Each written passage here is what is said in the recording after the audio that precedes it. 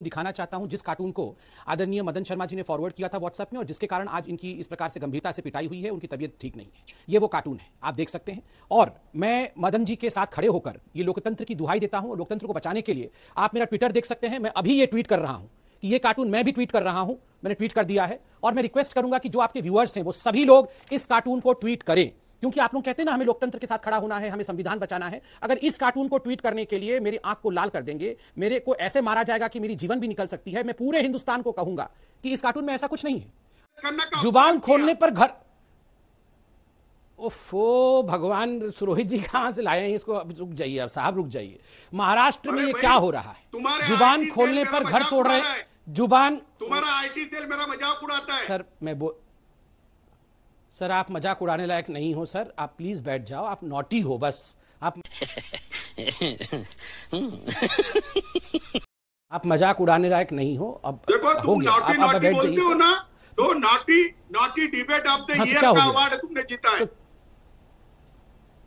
तो क्या हो गया? आप नोटी हैं नोटी हैं तो इसमें आप इतना बुरा क्यों मान रहे हैं? अब आप आप प्लीज़ लेट मुझे विषय से भटकना नहीं है मुझे आपसे मुझे है बार-बार- सर। आप मेरे मुझे बार-बार आप मेरे बुज़ुर्ग हो।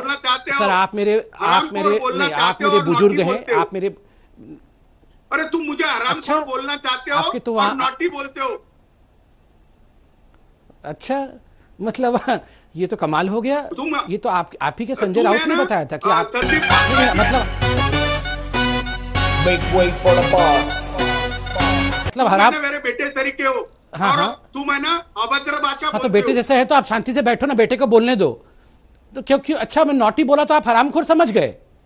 ये तो बड़ा कमाल की बात है। अब आप शांति से बैठो। मतलब बहुत बुद्धिमान हो आप। नहीं, आप बुद्धिमान हो जो आप सही समझ गए आप मुझे बोलने दिया तो जाए। तुम मुश्किल से नॉटी बोल रहे ना? हाँ और संजय राउत ठीक सरकार है, का। हिस्सा नहीं है। रो, रोहित भाई जरा ये नोटी स्पोक्स पर्सन की आवाज़ को कम कर दो प्लीज़ संजय भाई मैं इनसे उलझ ये पिता जैसे हैं मैं इनसे उलझना नहीं चाहता हूँ। मुझे विषय को रखने दिया जाए गंभीरता के साथ रखने दिया जाए। और देखिए देखिए मैं दो तीन उदाहरण मैं बोल बेटे को बोलने दो। Thank you thank you sir thank you thank you sir मैं प्लीज़ बोल लूँ नहीं तो आप फिर मेरा जबड़ा भी तोड़ देंगे। कृपया करके 30 बोलने सेकंड दीजिए। 30 सेकंड में बात रोहित जी मैं दो तीन दो तीन उदाहरण देता हूँ। जी। दो तीन उदाहरण देता हूँ। देखिए ये वही महाराष्ट्र है जिसमें दिसंबर ये प्रवचन करते। रोहित जी मैं शांत बैठ जाता हूँ। ये प्रवचन करते। किशोर जी प्रवचन वाले भी हैं हमारे पास। वो अभी कनेक्ट हुए हैं आचार्य प्रमोद कृष्णम। उनका प्रवचन भी सुनवाऊँगा अभी आपको।